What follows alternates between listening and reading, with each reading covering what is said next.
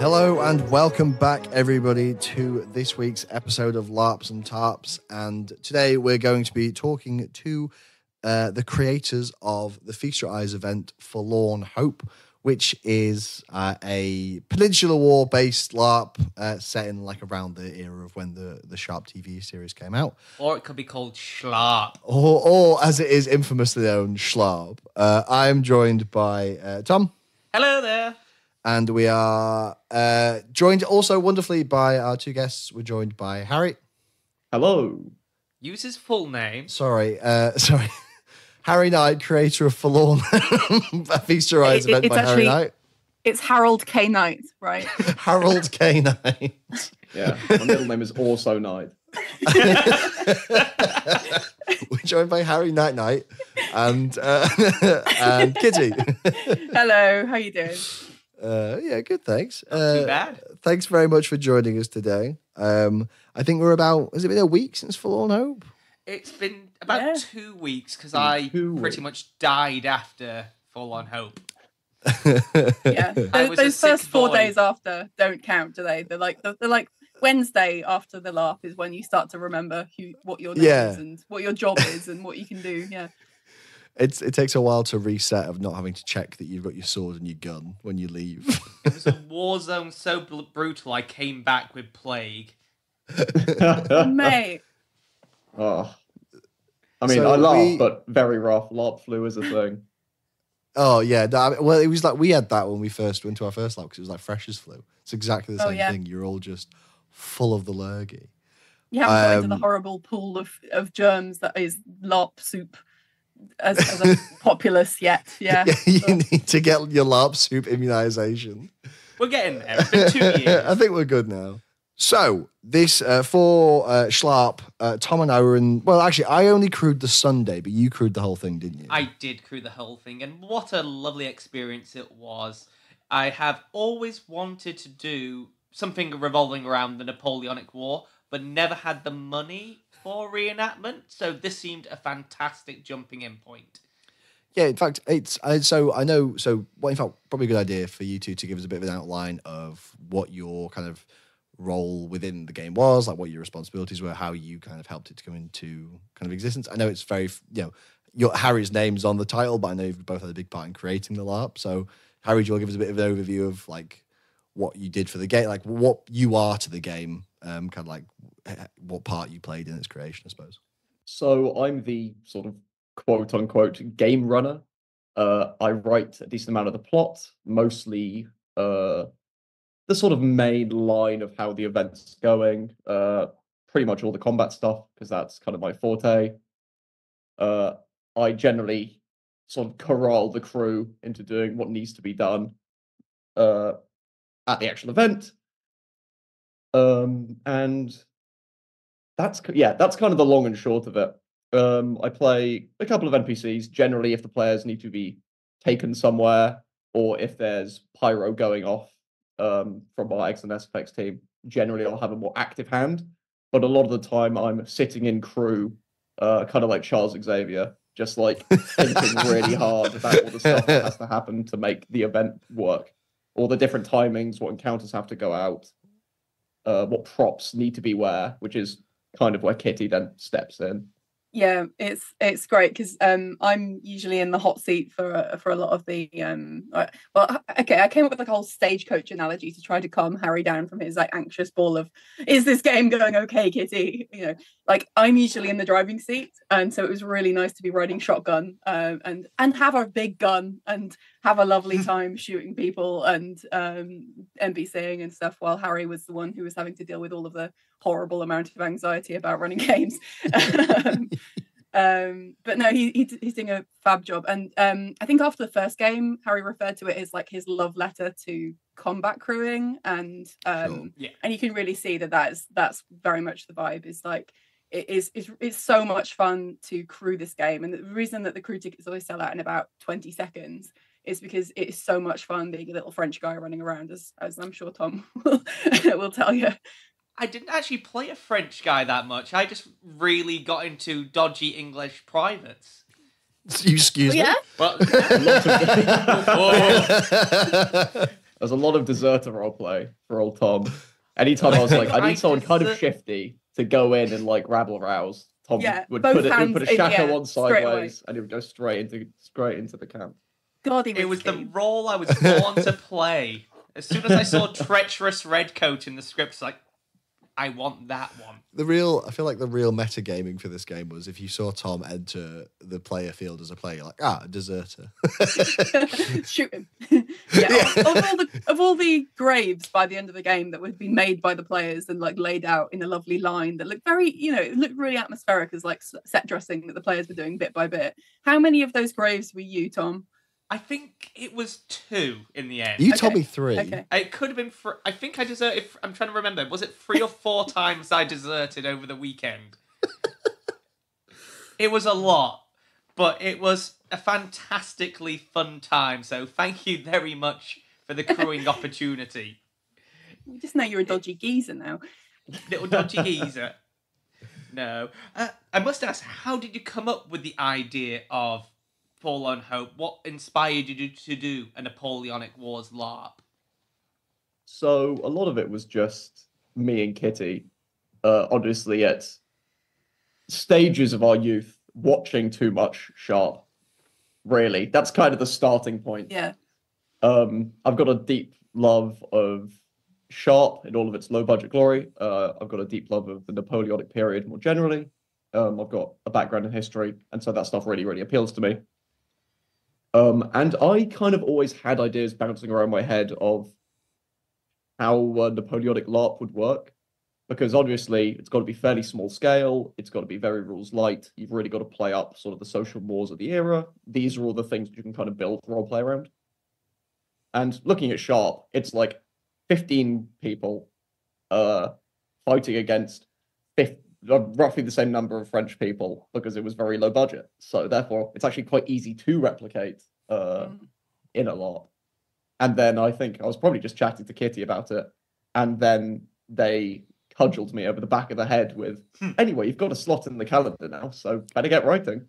yeah, that's that's how I do it. uh, I I've got a very similar thing of I, I just absolutely love. Uh, I think I just grew up on a lot of like Granada TV in the late nineties, early two thousands, and like that kind of like gung ho. Like you can clearly see that there there's like eight um extras in the background who are sharing five rifles and like it's kind of low budget but making it work and like that that kind of um it, it just really works really really well with the kind of film sim ethos that that we use at, at Feast and our LARP games like you, you know you're in the movie you know you're in that kind of the setting uh and you can kind of figure out what the kind of levers are to pull in that without too much help because you can kind of figure out what would Sharpe or a you know or named character in a similar kind of tv show do in this situation.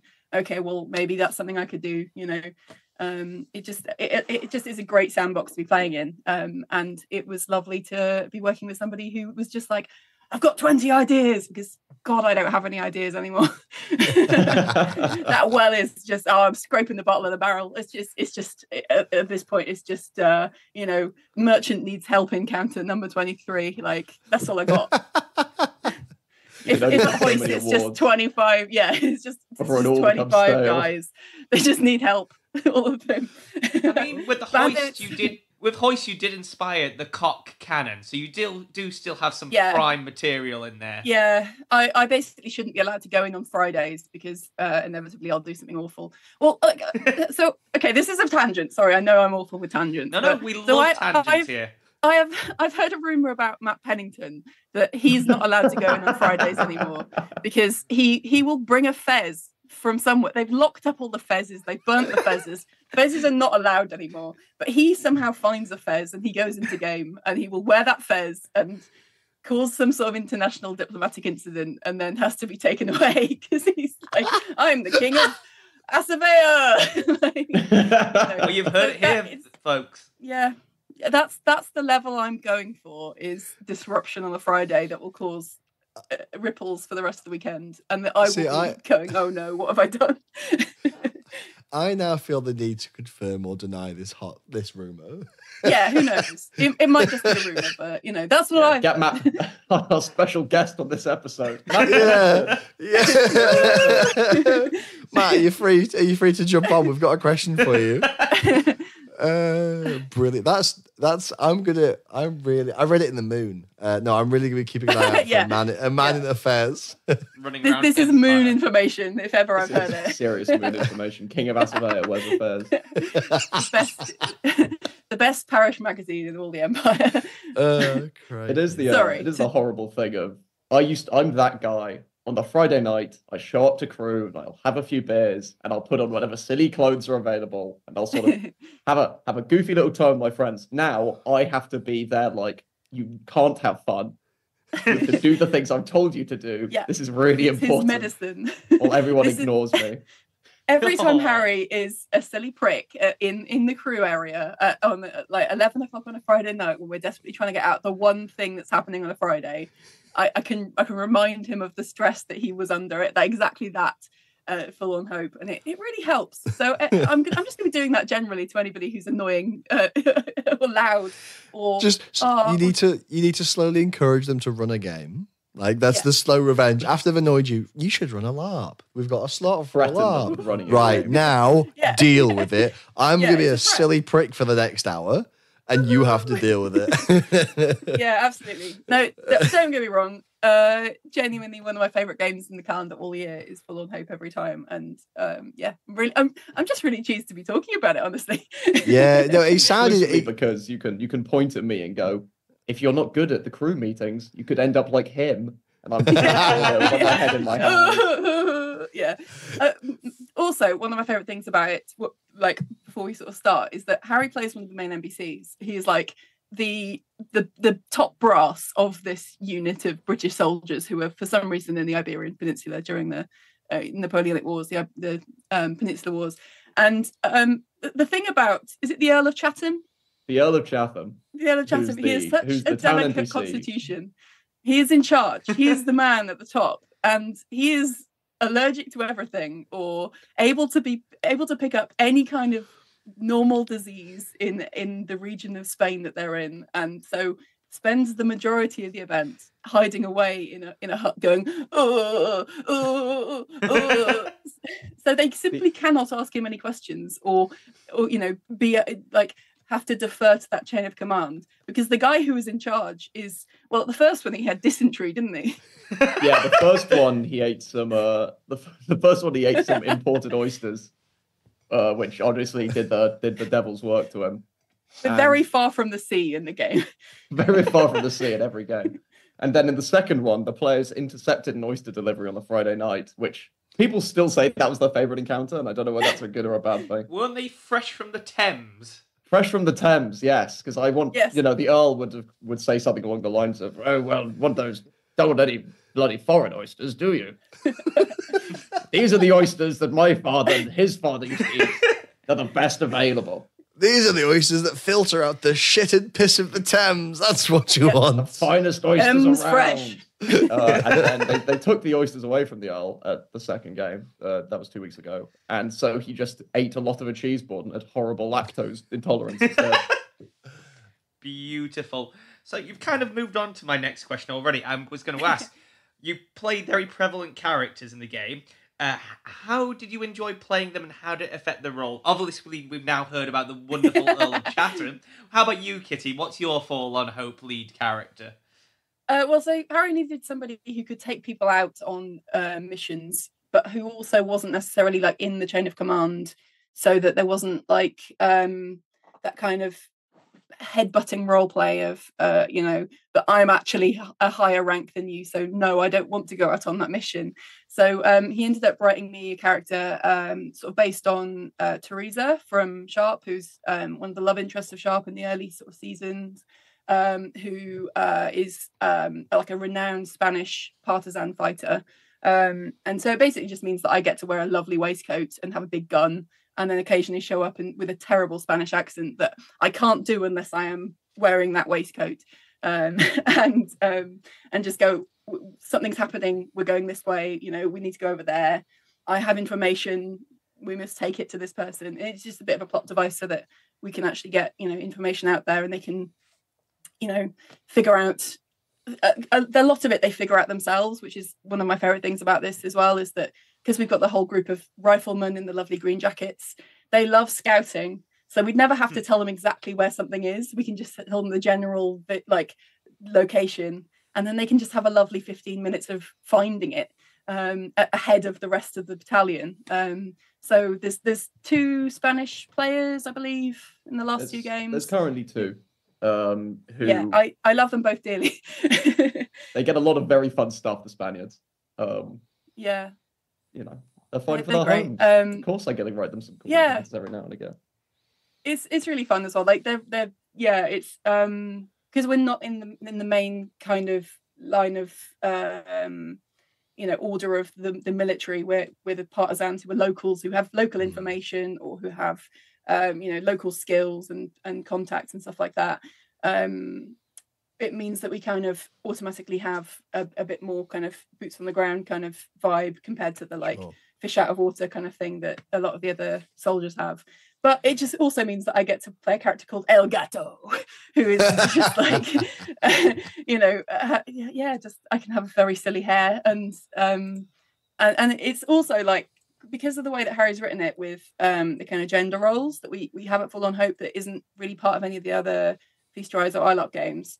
Um, there's um it, if you're playing uh, a soldier, you're um, read as a man within the setting, regardless of like OC Mm. um, gender expression. Um, if you're a civilian, there's there's male and female civilians. If you're Spanish, it's basically you know non-binary pronouns absolutely fine in the Spaniards because you know there's translation problems there, and you know who knows? There's like there's so many. Uh, so many genders to language outside of the English language it's literally fine. Um, uh, so it kind of means that I can go to the officer's mess because El Gato is technically awarded the um, a lieutenant's position. However, I'm also a lady. So what would they like? So, so I, I, yeah, a lot of them are very nice and deferential, but also rather than um, deferring to me as a lady like they do to the to the people who are playing c- civilian ladies um, which is a whole other side of the game, which is very fun. Um, that plays with a lot of those kind of pride and prejudice kind of stereotypes, which is you know very much opt in. Um, uh, I don't know. It's it's a nice way to be sort of a part of every part of the game without necessarily, you know, focusing too hard on any one of them. So yeah, it's been really fun. I just Oh. like having a big gun, and my and I, I I think I might have talked to you guys before about my um the curse I have with guns. So like at, at LED, I have only ever successfully fired a gun maybe twice, whereas at this, my gun goes off every time because it's a flintlock, and my curse doesn't apply. So it's a lovely time. God, I shot Harry so many times. Yeah. Oh, that's I, wonderful. I, I get shot so often at this game because I always have to lead the rest of the crew into the combat encounters when I decide to do combat, which means I'm always at the front of the big column of French infantry who get gunned down like dogs uh, pretty consistently. I wanted to ask actually, what were the um how does character classes work in the game? Because I know there was a few when I was I did a three hours of crewing on the Sunday. Um, I wanted to know what was the kind of I got the brief about the green coats, but how do you kind of what's character creation like for the game? So, going into writing Forlorn Hope, I knew that I wanted character creation to be like very easy to remember, to feel impactful at cool roleplay moments, and to give like an inherent sense of who your character is.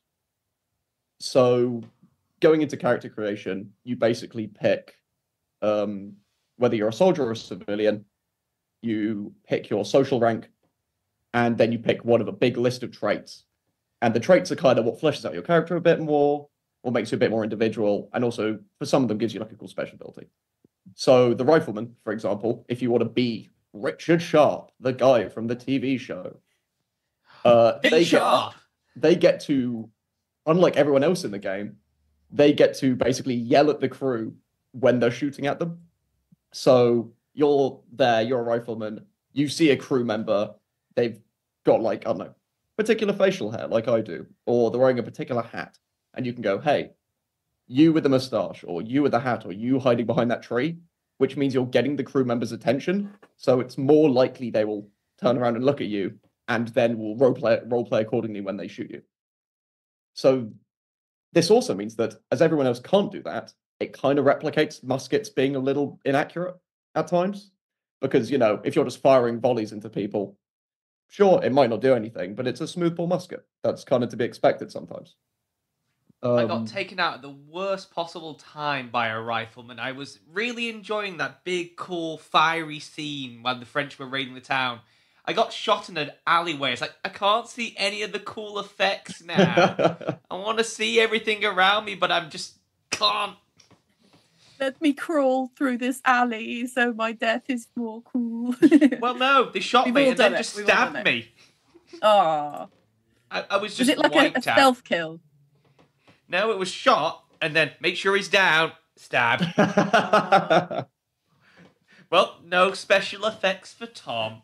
No, just got to look at all the all the lovely photos that people take of the game and imagine what it's Ah, like the in Togs did a great job. They did a very Mate, good job. look- Them and the is- it's a beautiful team. game. It really is.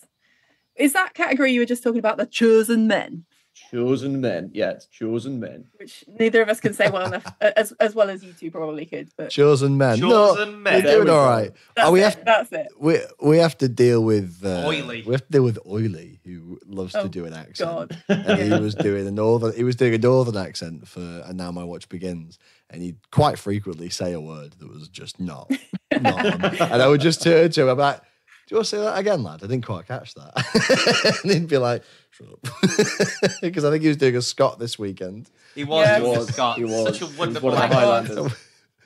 Highlanders. I couldn't go near him. Like I couldn't go near him when I was doing I was being Elgato because it was so it was such a like a contagious accent. And because I do a terrible Scottish accent with Five Kingdoms as a dwarf, that I've, uh, it was like a, a player character that now is occasionally an NPC. And so every single time I went over to him, I had to be like, like I'd start saying "aye" in response to his terrible Scottish so bad. Did, did you hear that they uh, sort of adopted a, an extra Scot, like a, a proper Scot, a real Scot, A who real- was Real their lieutenant, Scott. Yes, who, they, who they fully did. wasn't expecting to, to be in charge of a, a regiment of Highlanders because he just assumed he'd be the only Highlander. Then there was got there loads of realised there Highlander privates so who were just like, orders, sir. What do you want us to do? Lead us. Just imagine it. Oh. You show up to a game, you don't know anyone, you're not expecting to have actual command, and you've immediately got four people doing a bad in- impression of your own actual accent, showing up, drinking Irn-Bru, sharing tablet and, In and kilts and shortbread. little and little What do floppy you hats. do? It's so ah. silly. I mean, that. i feel was- like i should we- be mad but I also absolutely, distracted.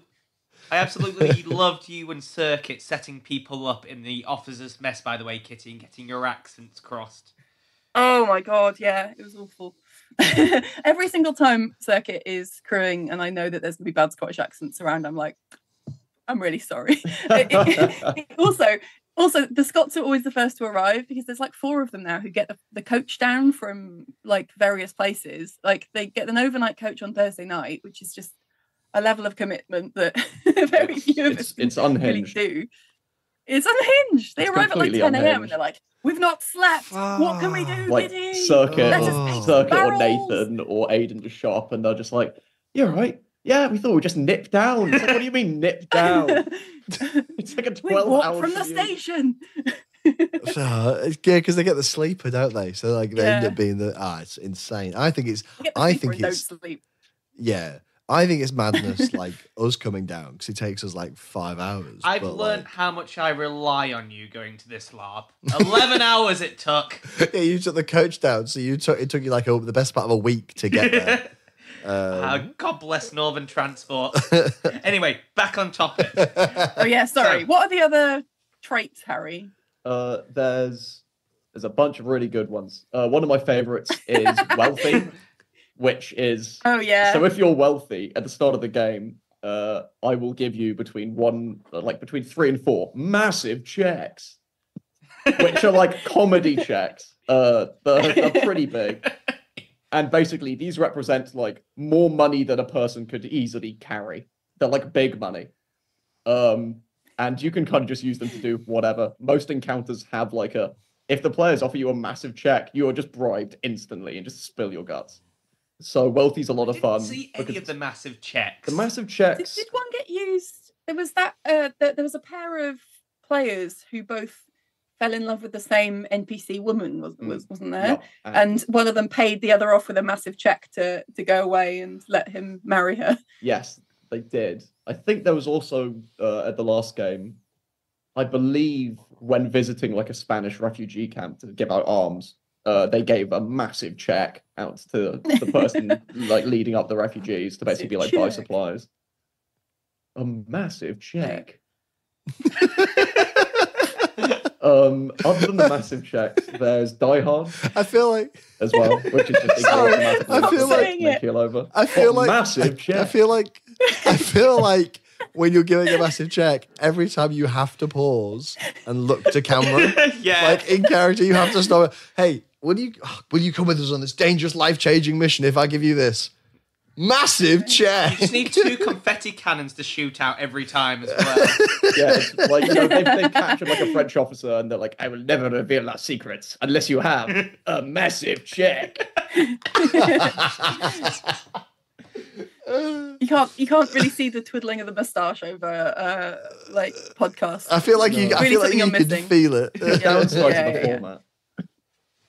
Yeah, Duelist is fun as well. Like there were a couple of really good duels last event. Duelist is good; just makes you better at winning duels. Uh, Die Hard is a personal favorite because um, there's a traumatic wound system, a forlorn hope, uh, where occasionally a ref will just hand you a little slip of paper. On the outside, it says like, "This is how you're feeling at the moment," and often it's like you've been shot. Uh, and on the inside, uh, the surgeon characters, surgeon being another trait, which you can take if you want to be a doctor, can open these up, which will tell them how to heal you, basically. Die Hard lets you ignore the effects of a traumatic wound until the current encounter ends, and then it just kicks in immediately. So it's classic, like, oh, I've been mortally wounded, but I'm so hard and cool that I just keep going until I get back to camp and I immediately fall on my face and I'm just bleeding to death in front of everybody. It, it's the the classic. Like, there's just been a massive skirmish, or it's been very physical, and then all of a sudden, the main character pulls their hand away from their stomach, and it's covered in blood. ah, shit. Exactly. Yeah. That's exactly. And they're like, I'll be fine. And actually, they're not fine. yeah. Is Actually, that what no. old Colander Cavendish has? I, I I don't think Colander Cavendish does have that. I think Colander Cavendish is a fop. So he can just speak Right, French yeah, yeah, and yeah. is foppy. Which I think Sure. is That would be. That sounds like the best character choice in the game. that's why most people are fops if Yeah. they're an officer. If they're an Are officer, they? it's Oh, like brilliant. 70% I have fop. a, I have a brother of horse guard, sir. Oh, yeah, it's, it's a lot of that. The, am- the amount of times that line about horse guard was said over the weekend, it made me truly happy. Yeah, Uh, Who doesn't have friends at horse guard at this point? Yeah. Welcome Quite frankly, are they all the same guy? Like, the same. They all went to like the same private school, and one of them got into horse guards, and the rest just leaked. I have. I have friend in horse guard. I'll have you know. That should be one of your Friend at. NPCs next time. The friend Yeah. from horse guard comes to visit. I'm gonna write that down. okay. I wanted to um I wanted to so you spoke about the surgeons and I wanted to ask a question because I heard about a particularly grisly piece of special effects Oh, I was so gutted I didn't see the special which effects. I really want to hear about which involved um uh, a saw uh, and I'd Yeah. love to hear more about like that in So- addition to some other gory effects.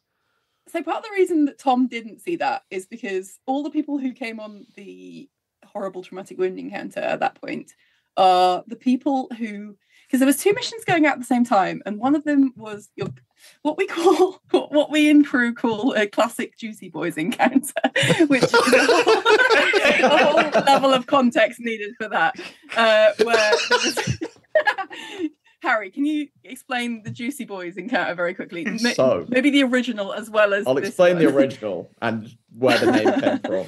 Uh, for those of you who can't see my face listening to this through the the medium of audio, uh, my head is firmly in my hands at this point. So at my first ever ILARP game, first ever game at Eversley, uh, when I was still very new to LARPing, um, there was the bad guys were essentially um, Confederate holdovers who the Civil War had ended, the Confederacy had been wiped out, but there were still some diehards who were just like, we're the worst people around and we're going to keep being terrible. Um, as part of this, there was an encounter where the players got to essentially sneak up on a little camp of these holdouts um, and like ambush us all out of the darkness at like 11 p.m., gun us all down. But they could also, while they were sneaking around, listen in to what we were saying because we were dropping little bits of information. Uh, and the information was essentially, "Oh, our reinforcements are coming, and they've got a they've got a gift." Air quotes. Um, after about an hour of sitting in the woods in the cold and the dark, we kind of just completely lost the plot. Um, so oh, our reinforcements are coming with a cannon, uh, which is what the gift was, turned into, oh, the juicy boys are coming with the girthy gift. um, as well as us arguing about what mayonnaise is.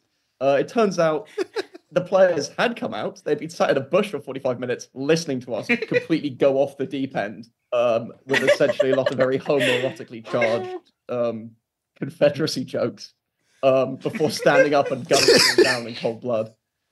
Uh, so now that type of ambush encounter is uh, is a is a classic Juicy Boys.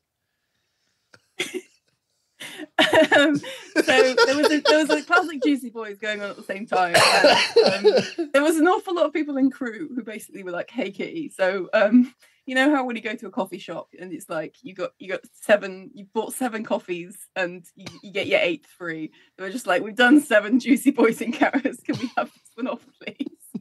and who, who, who were helping with me uh, and um, Circuit and Beck and, and the little group of us who were kind of putting this on, um, pretty much all the people who were playing Spaniards were the ones who were just like, please, no, we can't go and sit out in the woods yet another time and say three lines of dialogue on repeat because we don't know when the players are there. Like we simply cannot, please. Um, so they had a lovely uh, a lovely break from that by um, I mean, they're going to be right back on that at Flying Lead finale. It's right back. 18 there, Juicy Boy. um, You're hearing it here back to back, um, all night. It's 24 hour time in. But, um, 24 hour juicy boy account. yeah. So uh, basically, from the player's perspective, um, a group uh, they'd previously been to a, a very nice little village uh, called Lerma, Lerma, the village of Lerma. Lem, yeah, and they'd they'd had a, a lovely encounter um, trying to find a, a um, what- It was a, it was a missing position? A postman. The postmaster? regimental postman had gone missing, and it turns out Peter! and it turns out he'd gone to this village where the Spaniards were celebrating because earlier in the game, uh, the players had assassinated a French general in this village. So the Spaniards were like celebrating. They were like, the French have all left. We're having a wonderful time. Our new redcoat friend has just shown up, so we've just gotten him absolutely trolleyed.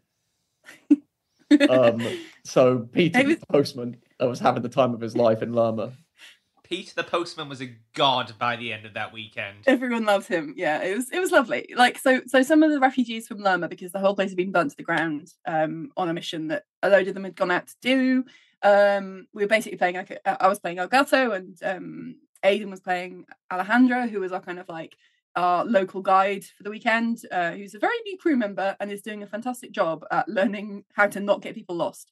And uh, I mean, an essential part of that is learning is getting people lost and then learning how to get yourself out of that situation. But that's that's just a part of Eversley, you know. Yeah, exactly.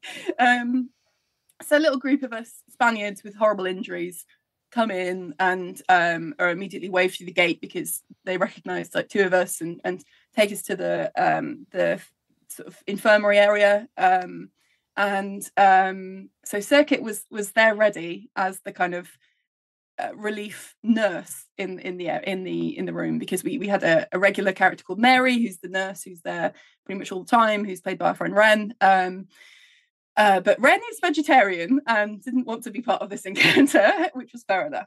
So um, Circuit swung in as the as the sort of replacement, um, and essentially what happened was this uh, Pablo, the the crack shot of Lerma, who was like the best uh, shooter in town, he'd had his leg blown off um, and um, his boot was essentially just full of blood. And uh, as soon as um, they had him down on the table, um, the traumatic wound, which was like peeled open because it was so full of blood, just said amputate in red writing that got more and more sort of deranged as it went through, and then just like a pile of blood, um, which is a lovely little touch that Harry did, I think. Um, yep, I wrote it in. I wrote it felt and so- tip and then just dragged it through the nearest pool of fake blood I could find on like the makeup table. Lovely. Um, a, a, a feast your eyes classic. Um, and so the the surgeons jumped to, and they had to do this very immersive amputation scene, um, which involved an actual uh, hacksaw um, and cut through it. And yeah, it was, so it was like from their point of view, you know, very immersive. From our point of view, it was um, about two hours of carnage trying to get it ready. Um, so essentially, originally when um, when we were writing this encounter, it was going to be another crew member who was going to be playing the um, the injured person um, who is kosher. Uh, and so we were originally going to use a, a, a pig leg, and then had to sort of be like, "What does your rabbi say about using Oh no! Like this is this is a level of of sort of spiritual analysis that I've never had to consider when making a prop before. Um, and so basically, we just like right, you know, let's just like leave it off. Like we we'd already um, planned to use a lamb leg instead. Um, so we just went with that anyway. And I basically, just, the prop. I, I just, I just love the idea of being like, call your rabbi. We need to Right know if we can ch- pretend right now if you Yeah. can kosher wise chop a pig's leg. like if it's just next to your leg, is that okay? You don't have Is to that fine? like- These are the big questions The fact, brings the fact out. that she's also a vegetarian. vegetariarian. Uh, Yeah. Oh, it was kind of the double barrel Yeah, that I was 'cause- like, okay, I'll pick someone else. uh, because because Johnny was just like, babe, we can't we can't do lamb. It's lamb's too nice. I will be annoyed if we have to like Lamb's uh, expensive. Not from Costco. Yeah. not.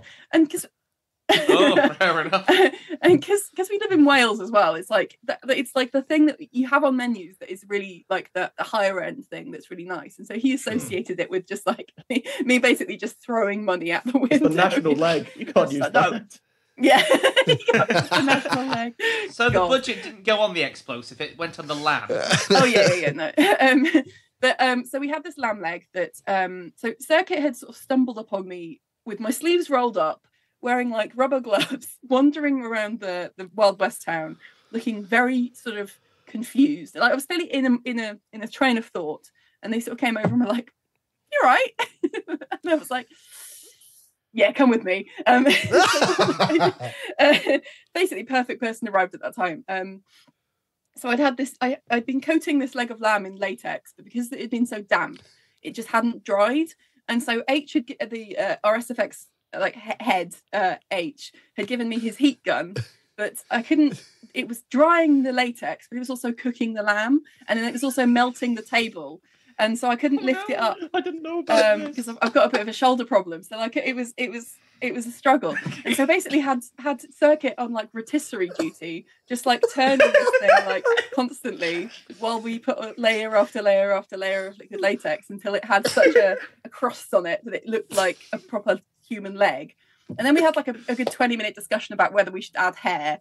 And so it was the whole thing and so like it was just like it looks pretty good. And then um i hacked at it wildly with abandon with a hatchet until it was it was like clearly that was where it needed to be cut off at you know?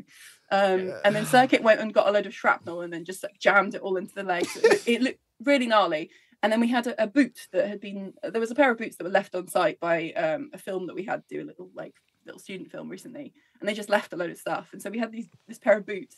So in in one of the boots there was um like a prop severed foot that was just like a rubber one that looks a bit naff um filled the boot with blood. Um and then circuit had the rest of it set up. And so as soon as we got back in position as as, as pablo he was lying down um with his real leg between the the end of the table and the like bench that was on the end of that um so it was kind of hiding it and then um, one of the um, I can't remember if it was one of the Spaniards or one of the players got sent into the me- the um, uh, officer's mess to go and take the tablecloth because it was an emergency to rip open and put over Pablo so that it was like a surgical cover on him, um, so that all the, the surgeons could see was like the shape, the leg, everything there.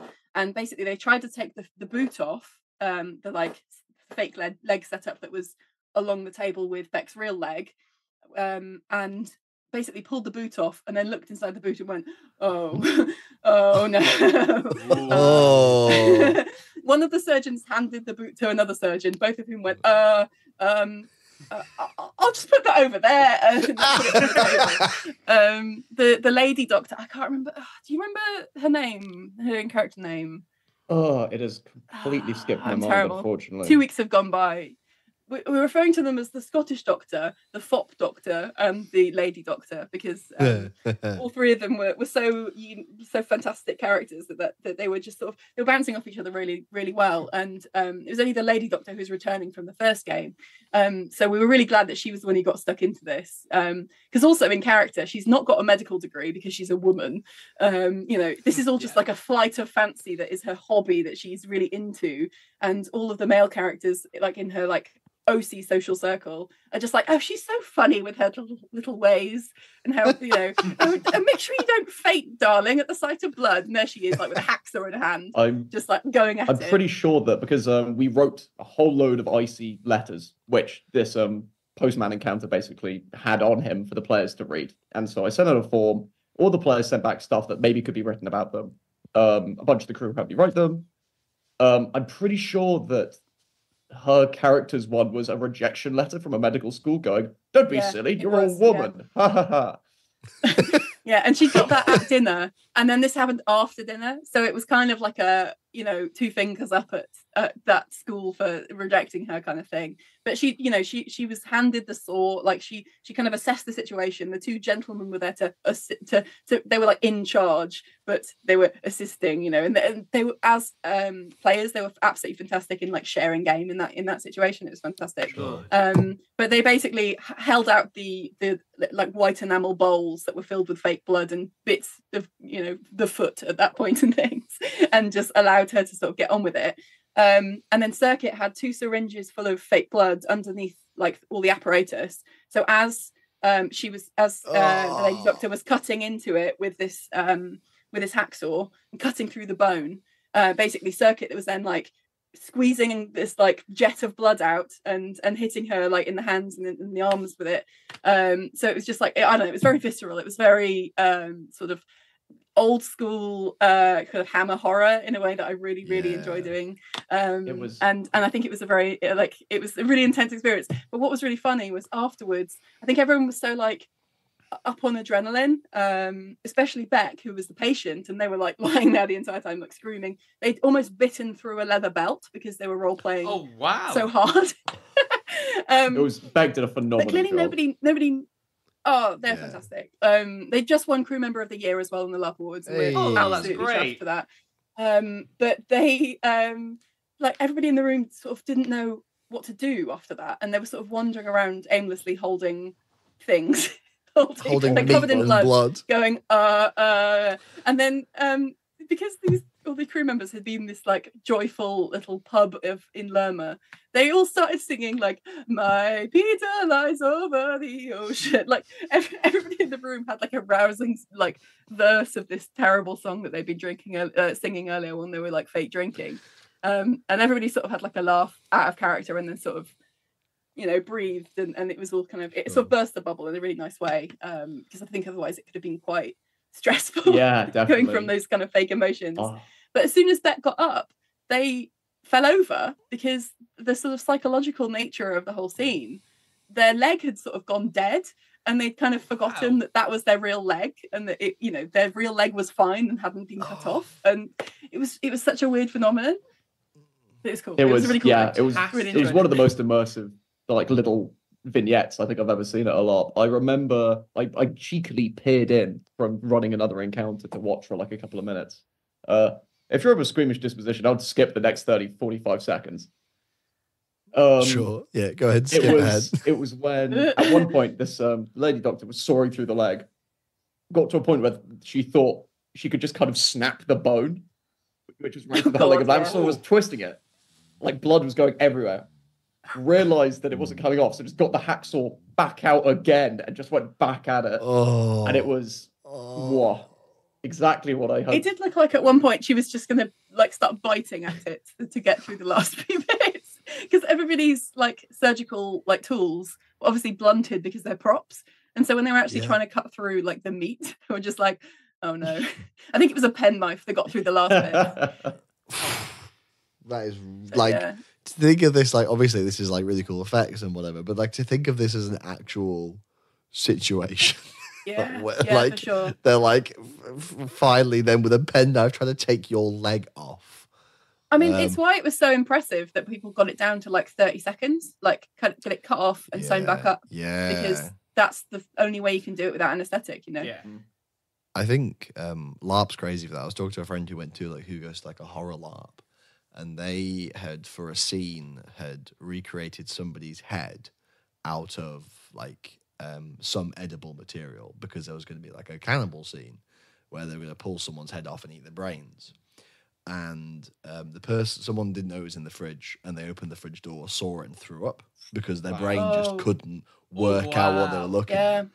And my friend that went didn't know this was coming because they were a player, and then they saw this head get revealed. And what they'd done is they'd sw- there'd been an actual person there, and then whilst people weren't there, they'd switched them out, and then like they pulled off this person's head and ate the started to eat it. And she was like, for a full five seconds, my brain couldn't work, like couldn't figure the fact that I wasn't looking at a real person. wow. Their Yeah. brain was just like, like it's like it's crazy how like it's funny you say like Beck falling over. Like it's crazy how your brain just sees stuff and goes, I I can't process what's going on there. This is Yeah. too real. Help. It's so cool. Um, it's it's one of the really cool things about like theatre and you know immersive theatre and LARP and all that kind of like pool of things is just kind of what you can experience and what you can kind of Yeah. process and how it all works. We- We've talked a lot about the gory side of the effect. Yeah, sorry. Harry, tell us. Oh no, no, it's great. Harry, tell us about the explosive side of the LARP. How do you uh, get all those cannonball effects and whatnot? So, Setup. uh, it's a game set during the Napoleonic Wars. There's got to be big bangs. That's kind of the long and short of it. If there wasn't a decent amount of pyrotechnics going off, I think you wouldn't really be hitting those kind of immersive notes of you're in a Sharpe episode, right? So I'm very lucky to have um, H, who's part of the uh, Cytus Effects team down at Eversley, who is incredibly skilled, knows exactly what he's talking about. I basically can just throw ideas at him and he'll just go, yeah, yeah, yeah, yeah.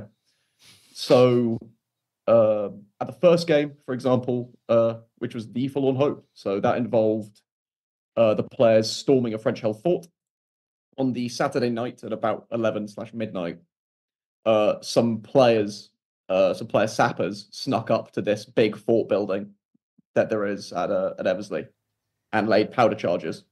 And the following morning, H and, his, and uh, the rest of his team went out there, set up these um, big pots, which basically just throw material and debris and smoke up into the air above them.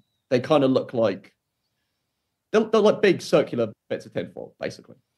Um, so one of the players ran up to like a Wild West style plunger, like lit a fuse. Uh, the whole fort just went boom, like the entire like.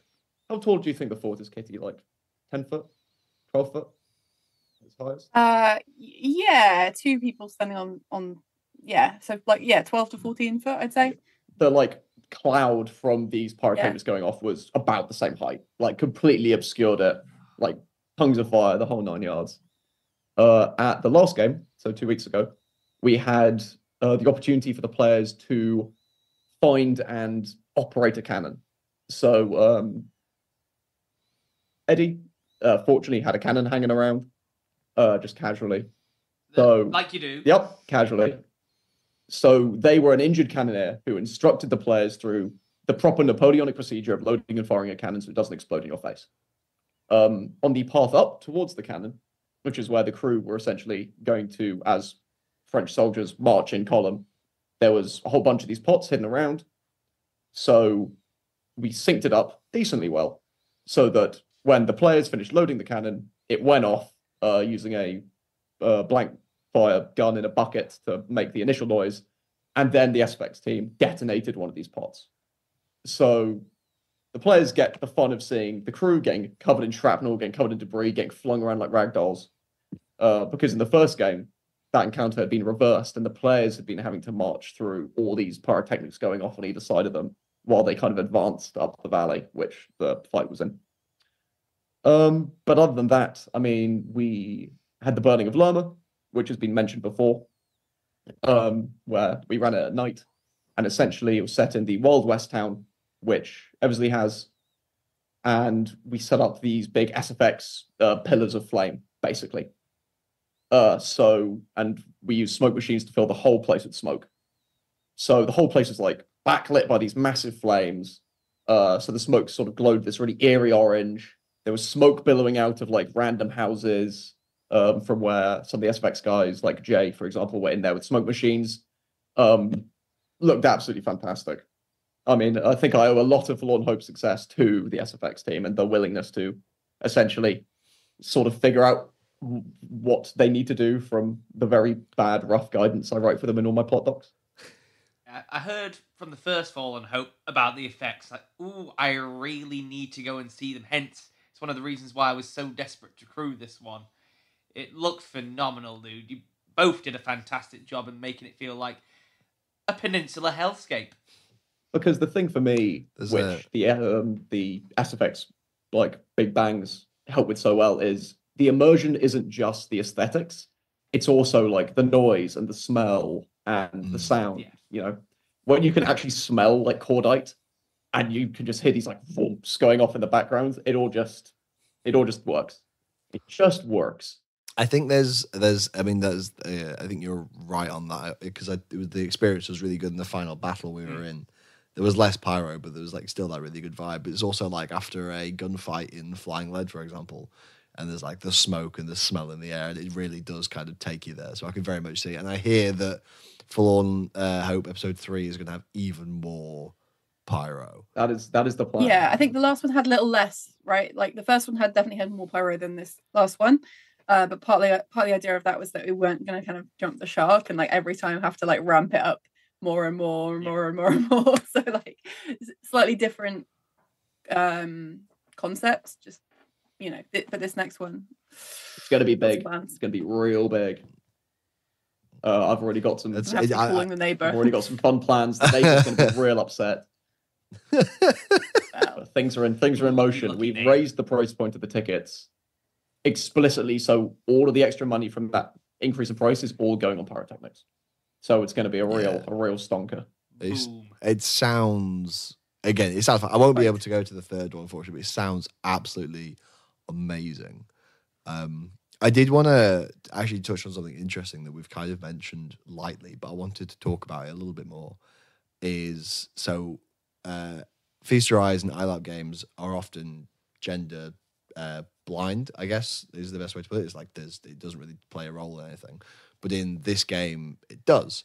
And I wanted to know how you um how you kind of handled that, like because it was like a different thing, and obviously there are, um, I, I think it's part of the like brief is that there's, there's these situations which are problematic and difficult for some people, but then in this game, I know it's kind of like a core part of the period. So I just was interested how you kind of handled that um when you were making the game and running the game and stuff like that.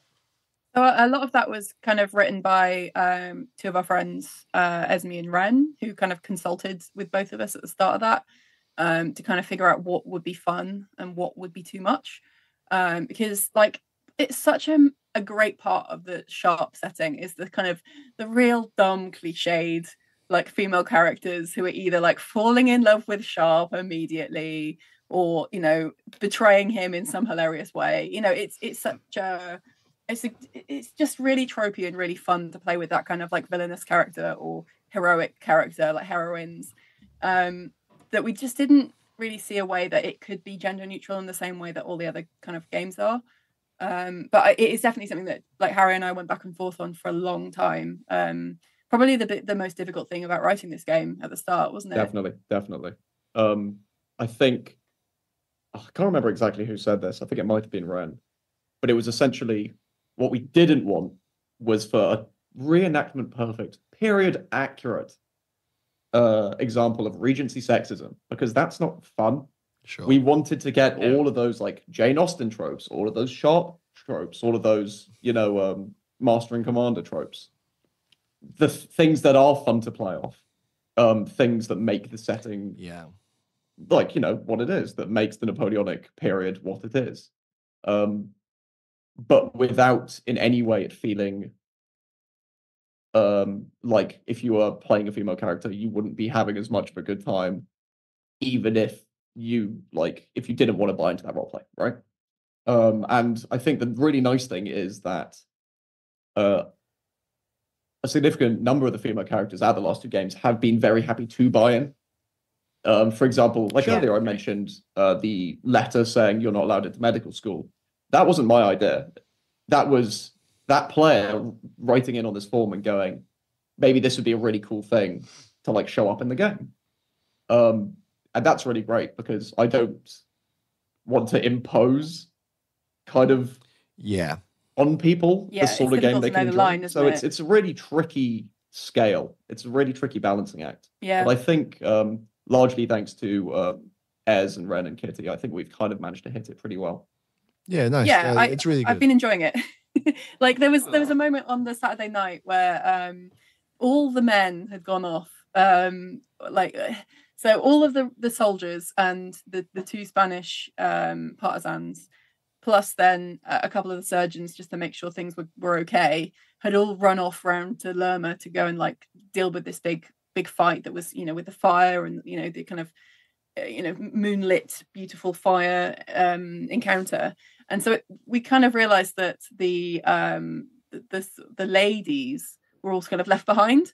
And so we oc ran over to just watch it kind of out of character just so that we could see the cool thing. Um and then as soon as the players had had uh, you know the fighting players had left that encounter area and the crew were kind of striking the, the the set and turning off all the fire and everything we went should we barricade ourselves into the officers mess and so uh, so uh, El Ghetto and um, I can't remember what Ez's NPC uh, lady was this time, um, but and and one of the uh, other like female characters, um, all the like upper class ladies, kind of ran into the officers' mess, which they were allowed access to, but a lot of the other because there's also a lot of like uh, class divide as well between the kind of officers and the enlisted men, and that's another kind of Sure.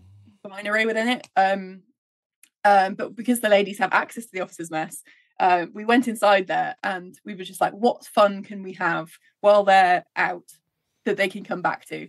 Uh, we we we started barricading the walls, um, and then um, so there, there'd been like a full officers' dinner um, with name settings around the room, um, and so we just took all the benches and all the little stools and started making barricades on both the front and the back, and then we started drinking in inverted commas all of the port that had been left by the officers to, to you know to steady our nerves in case there was a big battle you know.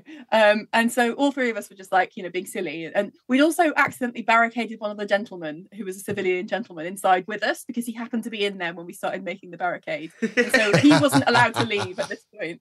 Uh, and then because we were drunk at this point um, we started getting all the name tags and then putting them back on the chairs where they were in the barricade. Um, and and just you know being silly. And then so when the, the the officers came back from this mission and tried to go into the mess to have a sit down every time one of them tried to open the door this barricade was like threatening to fall on them.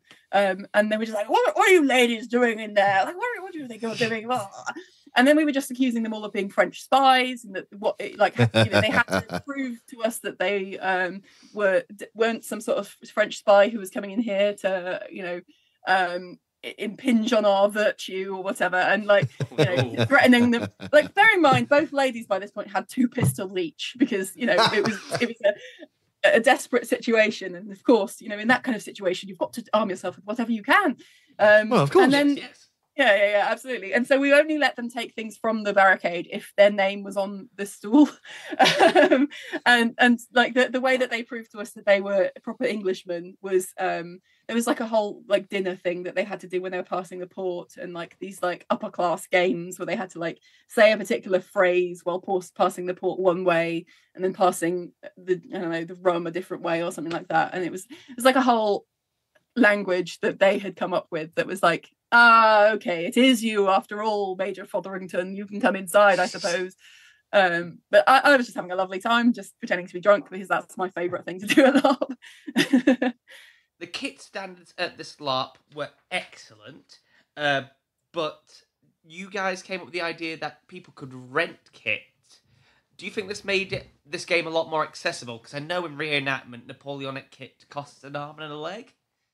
Yeah, uh, we we had some friends who were who were going to come along, and they've got some extra stuff. So um, we had like a limited amount that we could rent out, but it, it did make it easier being able to sort of say uh, like if you if you need a jacket and a and a shako because they're quite difficult to get hold of, um, and you're within this kind of size range, then we can sort you out with that. Um, it, it's a pity that um, the, like female kit is more difficult to get hold of because that's what we're, we're really struggling with for crew as well, um, especially in like like a bigger size range than like Bridgerton, Mm. because a lot of the time we get job lots. It's like, well, this will be lovely for the two crew members who it'll fit, and um, yeah, yeah, yeah. you know. um, so yeah, it, it is it's definitely an issue. Um, but I think it- the, yeah, the the kit was all again. It was really fantastic though, like especially from the crew side as well. Because wearing like the blue the blue coats and stuff, everything was really good uh, Yeah. from that side. But yeah, like you say, I guess it is a it is. I know there was a kind of there was a few ill fitting coats, and then but the thing I guess with like dresses is they're even more like Yeah. fitted. Mm. So getting them Yeah. to fit well, I imagine. I've got the guns. So the trouble I have is that like I'll I'll try on a dress and be like, this is nice, and then I'll flex a- at all.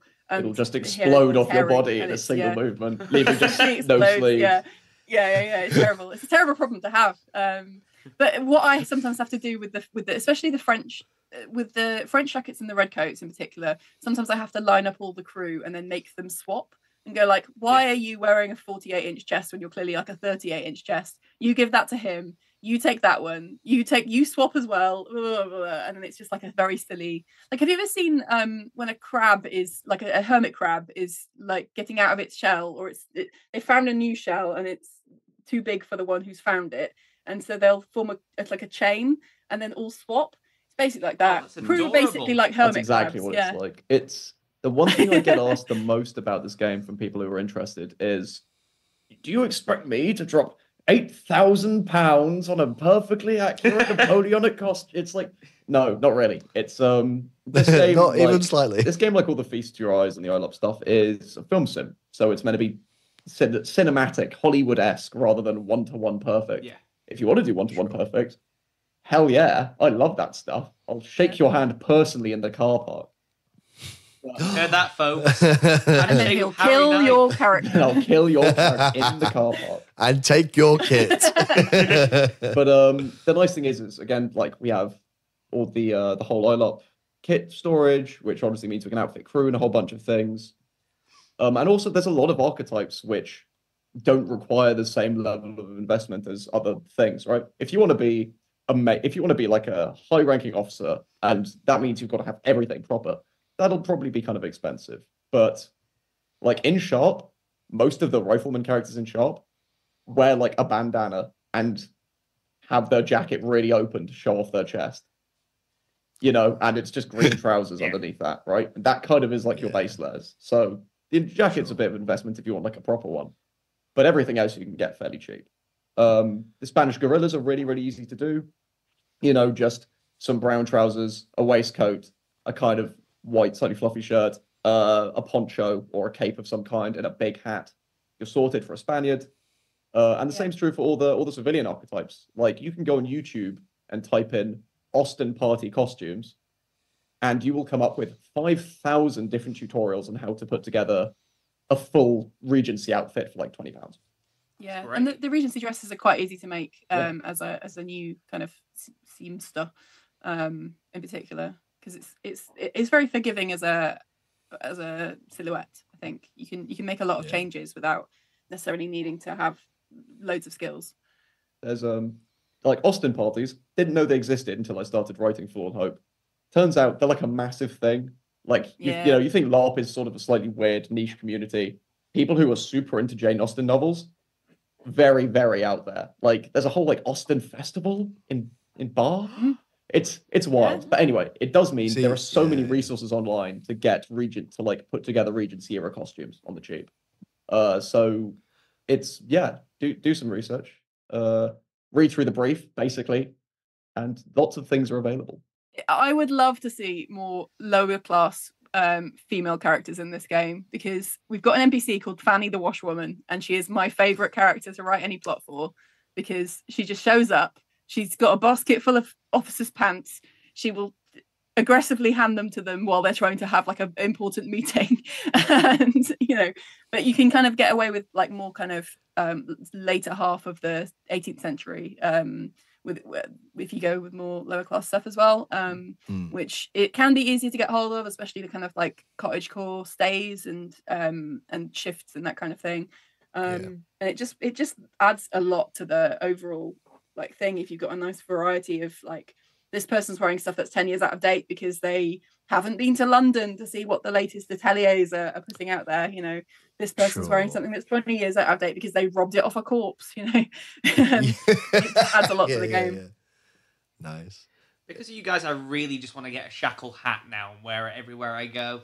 That Yeah. was a big highlight for me. They had so much height. It. As I a think it short was- man, I need every inch. I think as well, like I, I couldn't believe that you introduced this game to the uh the cinematic universe that is your various characters. Um, Oh, the uh, Belvedere frankly. family tree. Yeah, awful. Uh, Blame Oily for that you, one. you, you. I want this man to go to Legio, so he can play, Yeah. play Brutus Belvederus. Yeah, Because the idea that the Belvederes have been medical practitioners on the British Yeah. Isles for two thousand years is too good. like Belvedius. Yeah, oh, absolutely. Belvedius. They're never leaving, Kitty. I'm sorry. I think I think because Harry plays Religio uh, or played the last couple, and Love I think Legio. there's kind of some similarity similarities in the way, but it, it, it's it's the the settings that have a kind of military focus can be really fun because like you've automatically got that hierarchy and you kind of automatically got like you, you can kind of happily play somebody who's quite low on that ladder and and find a really fun niche within it um, that kind of removes any kind of um, like everybody being the the, the big important shouty man you know that, that can sometimes be a, a real issue at lark I um, honestly especially when people time- who shouldn't be in charge are in charge because that's that's fun I honestly Sorry, had the Tom. time of my life playing. No, it's no problem playing a skeevy private. It's everything I wanted and more just to wind up the sergeants and the higher players. I think I got told off for having my hat crooked about thirty something times. Yeah, good Still never got they've got to do for it. something yeah they've got to do something and and you know with with most of them like it, it gets to the point where they've told their mates off for the, for all the usual things. And so we need to send them in some other scrubs so that they can tell them off for some things as well. Yeah, Digby, Well, the Digby's justice just is- standing there in his full like provost uniform as I send the 87th deserter to like grovel in front of him. I can't believe they let so many of those uh, deserters go because they cried and were too they were too sad, and so they were just like, "Yeah, we can't kill these guys." They're I was expecting every tragic. single deserter at this game to be shot out of hand, and I'm slightly Yeah. disappointed that they were treated with more leniency than that. I did love the ones that got lost and ran out of food when they were being inspected. They were looking through our bags, and just one of us had a sandwich in our bags. Like, yeah, we're starving behind enemy lines. Not a crumb of food. Yeah, that's your emotional sandwich. You got to hang on to that. That's been with that's been with you since you left London. all the way. uh, So, did you guys have any favourite moments over the weekends? Were there any event highlights for you or encounters that really made the special? Well, I'll, I'll let you go first, Kitty. I'll push you firmly under no. this bus. Oh god. Okay. Um so uh, Harry on Friday night made me take like he didn't tell me until I was literally ready to take the, the players out, but that I I was leading the players out on the first walk in. Um, and so it was it was yeah no it was all right. Uh classic. I do that to you all the time. Um, Yeah. um and um it was a really lovely time to like meet the new players and also realize that like if we haven't told them to put really good shoes on this uh this will be an interesting experience for them because i was like I, I was told the route that we were taking them on and um I had a couple of other crew members with me um to like help people along if they needed it but because it had been raining so much like in the in the couple of weeks before that i did have in the back of my mind oh god what if this tree has come over or uh, what if this whole area of the site is one big bog and i just immediately walk them into it like uh Um, but there was this lovely moment when um, we were coming back down the hill um, once we'd sort of looped all the way down the track and come back round. Um, so we were on the far end of sight, sort of coming back on ourselves. Um, when I realised that we had two new civilians with us, um, the this new lady and then the new sort of gentleman surgeon, and um, I also had all these sort of Spaniards who were helping, um, help you know crew members who were helping us move things um, and make sure people didn't get lost along the way as well. Um, we'd set the the the rifles off to to go and scout ahead uh, and find the the one thing that had been set up that they needed to see on their way back round that was going to set the scene for everything. Um, that was handily quite well lit so they could see it from a distance. Um, so the rifles were off, and then the redcoats were in front of us, like sort of panning out and making sure that if anybody did pop out of the bushes, they were there ready with their rifles ready and everything. Um, and the officers was doing their usual sort of sort of thing. Um, and then these these two new civilians who were very clearly sort of, we're not entirely sure what we're supposed to be doing because we're not in the line of, you know, we're not in the in the military side of the game, and we're not, um, you know, part of this area. Ooh, what do we do? What do we do? And there was just a moment where, like, one of them, I think, like, slightly slipped, but like caught themselves, uh, and it was all fine. Um, but being a terrible Spaniard, um, I I immediately called over um, Dougal, who was playing one of my Spaniards, um, and was like, "Oh, this is Juan. He is uh, he's very very very handsome and very very very strong, and he will catch you if you fall over. Um, but he is very very stupid, so do not ask him any difficult questions." um, and uh, and he helped them both down this this hill in a very like exaggerated like oh late my lady like let me help you of course like if you need my hand i'm here and like practically like swept her off her feet and carried but like like she didn't need it and she was fine but like was ready to like be like the, the, the, like dashing Spaniard who was going to like flirt with her with with her husband watching, um, and like helped her down the hill and it was all fine. And then like leapt across this little um, uh, like gully that was quite boggy. And one of the very new officers immediately started taking off his cloak to like put it down on uh, under her feet Oh, so she'd be able to get up.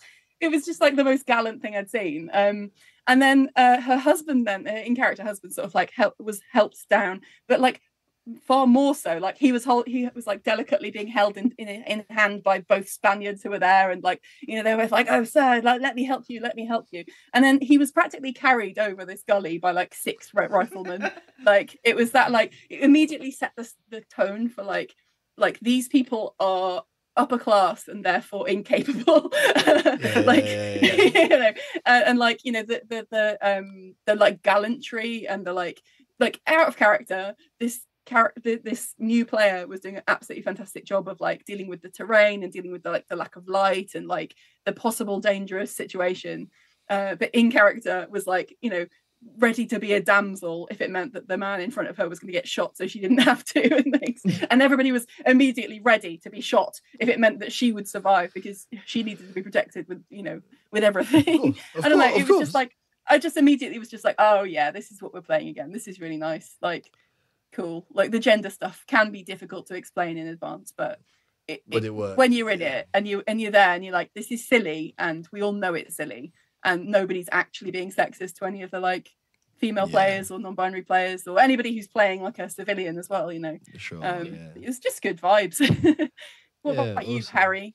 Harold K. Knight. Oh. What was your favorite thing? Harold K. Knight. my favorite part of the game. So, one of the things I have to admit I enjoy doing is seeing whether the players are doing what they're supposed to be doing. uh, so, a good example of this was at the last game.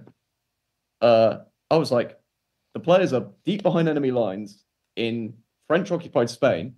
I wonder if they have anyone on guard duty. So, what the encounter was was so to set the scene, the players were in the Viking village, which has like some watchtowers. It's got like a perimeter wall, and then there's a path which is probably about 800 meters, and then it curves around a little corner.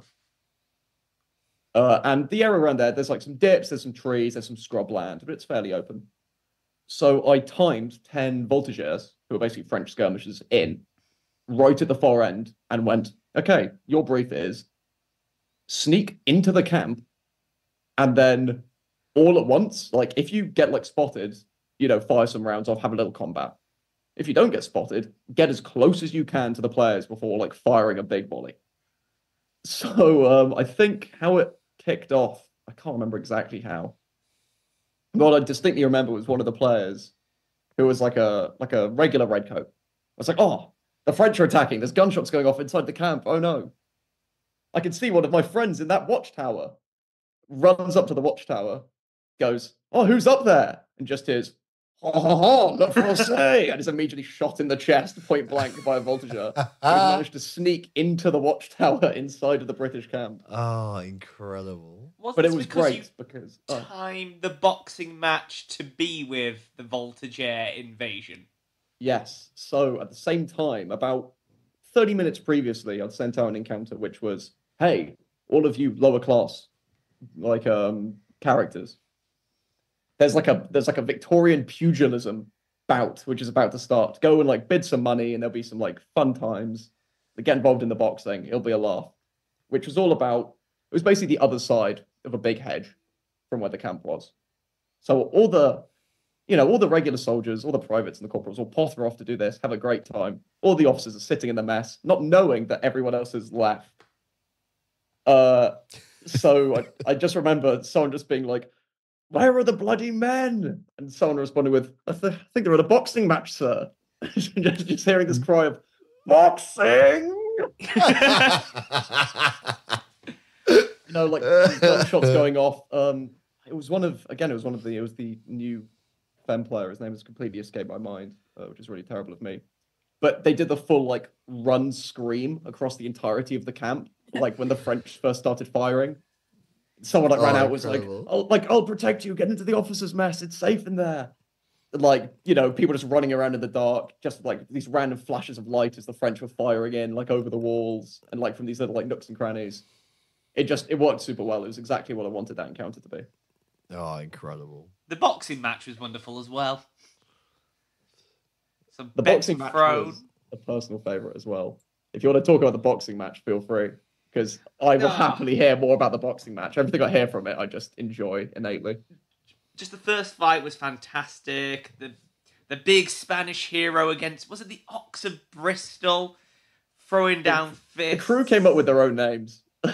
Yeah. I'm pretty sure like the, The bell ringer of Bristol was one or something, Something like It was very yeah. silly. So the Ox won the first round. Everyone cheers, British superiority and all that. The Spanish are devastated that the champion had uh, fallen. Then it was one of the riflemen who took out the uh, British boxer. You had uh, Circuit and Ren with fans in the background, like, "Woohoo! Punch him in the dick!" And uh, oh, don't don't say that. And did, did those ladies actually say that? That's not the kind of language we expect from you. Uh, it was such good vibes. Money were being thrown around. You had your hype men. Uh, I believe the final bout was Oily versus another rifleman. So the Highlandmen went down, but This is uh, Ollie, I you s- think, yeah. yeah, you got the big flash of Oily's underwear under the kilter. it was a fantastic event. And where were they when the camp was under attack? They're having a lovely time. Okay. They're allowed a night off. Um, not. it's Tom- the army. It's, it's specifically, they're oh not. yeah. Oh yeah. No, maybe not. Um, I've I've heard a rumor. Have you heard this rumor? I have heard this rumor. I've heard a rumor that there's going to be 16 Forlorn Hopes, one for every episode of Sharpe. Is this correct? Can, can you confirm Yeah, the next deny? one's Tulio's gold, right? Please, I don't want to have to do Sharpe's Gold.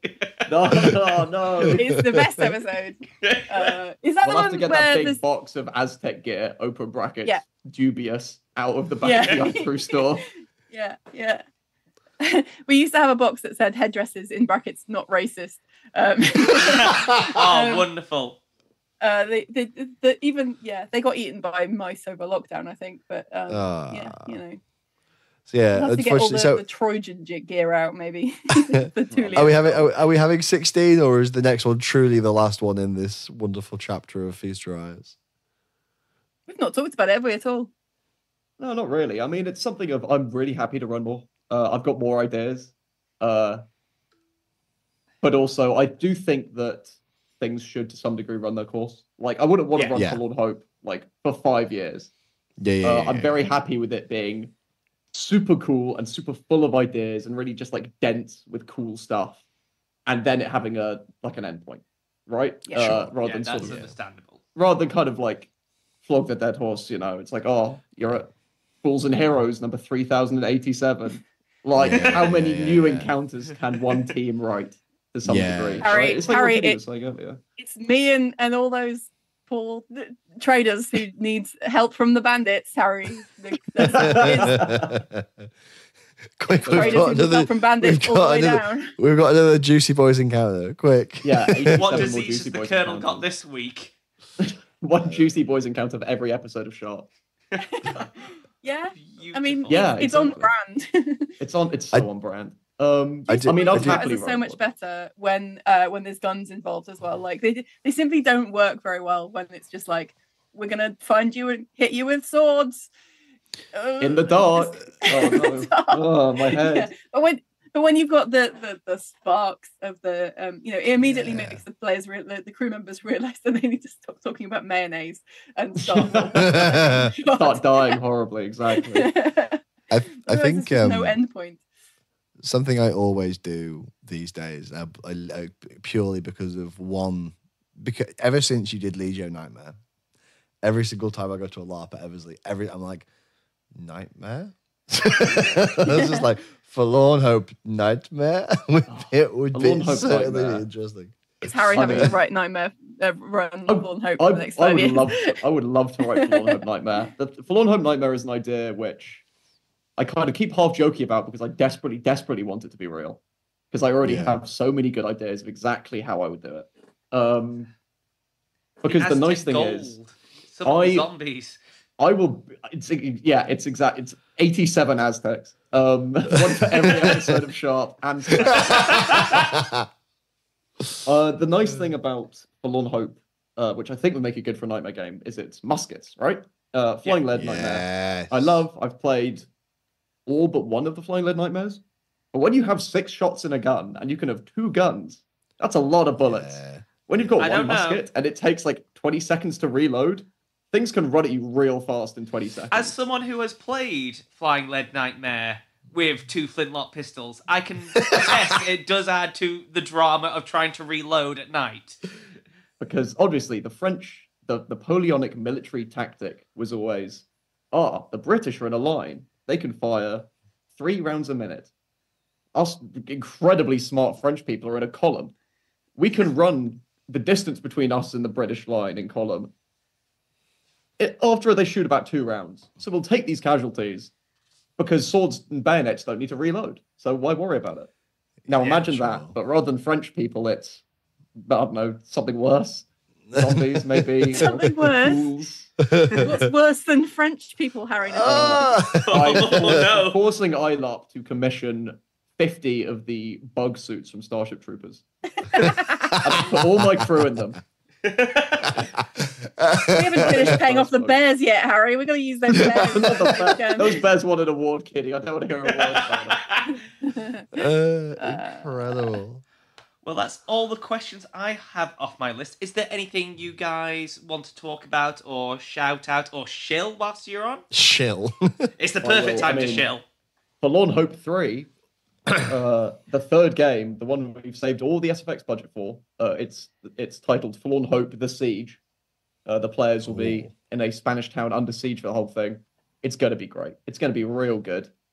Uh, Uh, if when you're the interested, that- going on the sale for the uh, Uh, players? the twentieth of March um, at seven thirty PM on the Feast Your Eyes website, uh, which hopefully will be after this podcast comes out. oh yes, this podcast. Okay. Uh, Alex is a speedy worker and a godsend. It should hopefully be out by Friday. Hopefully, we'll see. Friday. That's wow, really that is quick. quick. That's It's great. there's no guarantees of it being this Friday. yeah, just a Friday. Yeah, I feel I don't I don't want to commit Alex to like having having to This release pod- this. This podcast. I'm sorry, come out in Alex, I love 27 you. Days. One thing. episode of Sharpe.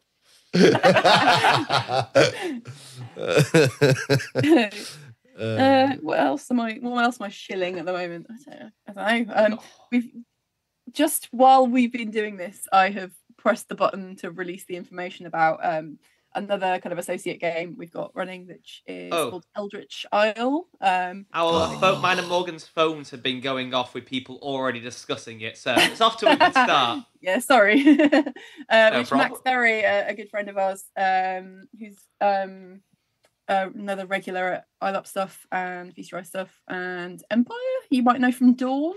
Uh, he is running a, a kind of Cthulhu esque kind of event, um, which is uh, currently looking to be a one shot, but with the potential for for more uh, like a series of one shots if it goes well. Um, it's uh, set in 1929, um, so costume for it is very charity shoppable, um, Mhm. which is the best thing about like early 20th century stuff. Um, and I've got like 27 tabs open about it, and yet I can't find the one that has all the information for me to say. Um, if you head over to uh, feastyoureyes.events, um, all the information for all our games are on is on there. It's Yeah. not .com or anything. It's literally dot .events. Feastyoureyes.events. Nice. events. Um, and yeah, we can, you can have a little look at, the- at all the weird stuff we do.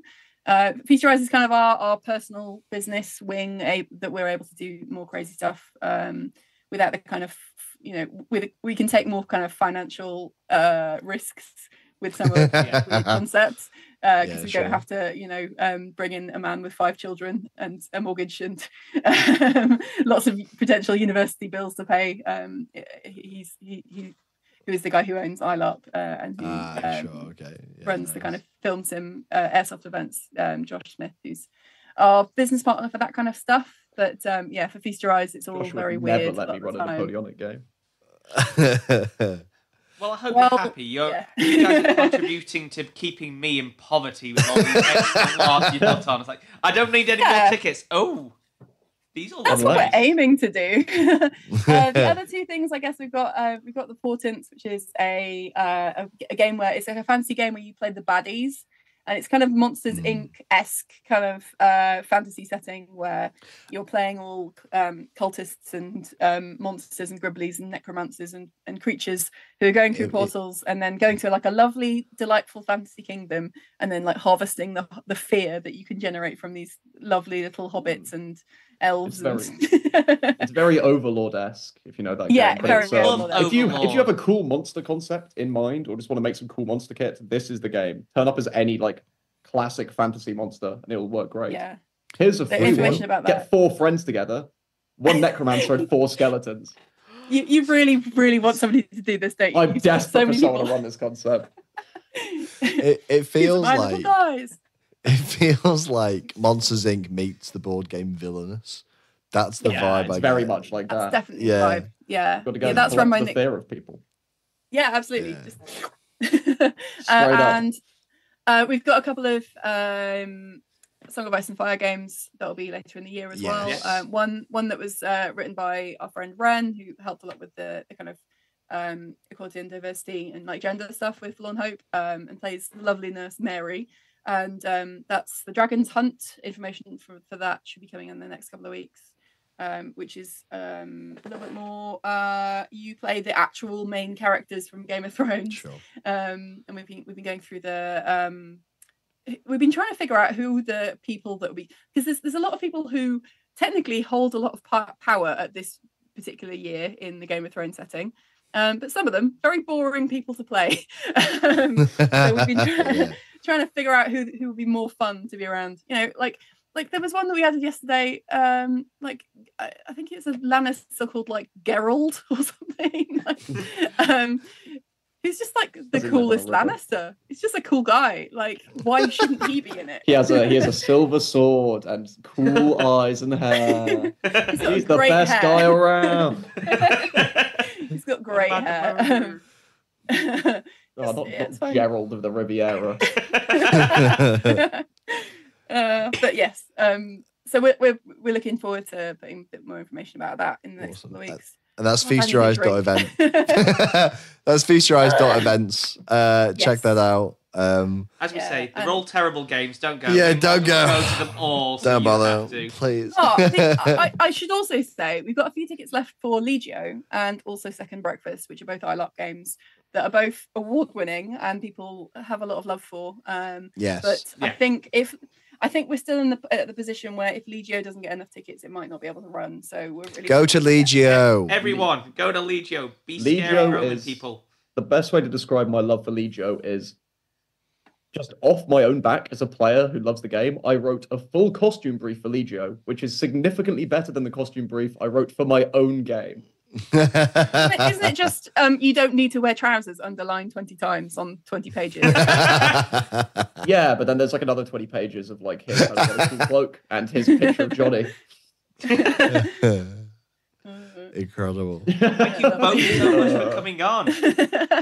yeah, sorry. I've, I can only apologise for the last like God knows how long of rambling. We're just, we just No, like it's great. about Absolute pleasure. We are the tangent podcast, and we yeah, love it. I think it's you. You get you, you. It's really funny how I feel like I I- like guests often keep us on track, but I feel like we've all just fed into each other this afternoon. Yeah, sorry. Perfect energy. incarnate. How, ma- how many of us Yeah. have got undiagnosed uh, neurodivergencies? That Oh, I'm- I'm- medication. I'm di- I'm diagnosed. It's I'm only Medication's diagnosed with expensive. I can't use that stuff. But yeah, no, thank you, thank you very much for coming on. Absolute Uh, pleasure. and Oh, uh, well, thank you very much for inviting us. yeah, no, it's been great to talk about it. Um, And if anyone has any thank- questions about Forlorn Hope, join the Facebook page. Feel free to ask me on there. I'm super happy to talk about it literally all the time. I can't stop thinking about Find this man the on the Thursday night of Empire and ask him questions about the Peninsula War, and he will, will simply Find me when I'm out cans at my local something. shops and shake me, yell at me about hats. It's I've fully got a picture in my head of that meme of that guy in a nightclub. just next to some poor woman, just like talking about talking I- about the peninsula. I'm peninsula war. both sides of that. I am also both sides of that. You heard it here, Yeah. folks. Just harass Harry Knight and Kitty about the Peninsula War. yeah, tell us Uh, facts. Follow my Instagram account and harass me on there as well. Yeah. No. God. All right. Thanks, guys. Yeah, That's been a lovely thank- time. yeah. Thank you very much. Thank you very much for being on, and thank you uh, to everybody at home for listening. I hope you enjoyed learning about Forlorn Hope, and I hope you managed to get to the next one as well, as well as some of the amazing events that these guys do. Um, as always, please, uh, you know, like, subscribe, follow wherever you are. Remember, I am legally obliged to read out every single five star review, so this is your perfect opportunity to put in an advert uh, or or anything else you want me to say into into uh, reviews on podcast. I will rev- I will read out no other review. So even if you want to slate us, you have to give us a five star review, Please slate Dawn. and I will read it out on the next podcast. Um, but yes, uh, uh, we've also got a Patreon. You can find it at Fabletop, and then we should be coming back to with a few more events coming up. But once again, thank you very much, everybody, for listening, uh, and we will see you when we are back. I'm not quite sure when we're going to be back. To be fair, actually. Uh, depends if we want to do an episode about crewing on Forlorn Hope, Yeah, we'll or see how you're we going go. into the woods. Okay, we- yeah, welcome to the forest, into Uh, the woods. Into the woods. I'm going to a rogue trader LARP as well at the same time. So there'll be interesting things coming up. Yeah. So perfect. So, well, thank you very much, everyone, for listening, and we will see you again when we see you. Bye, guys. Bye. Bye.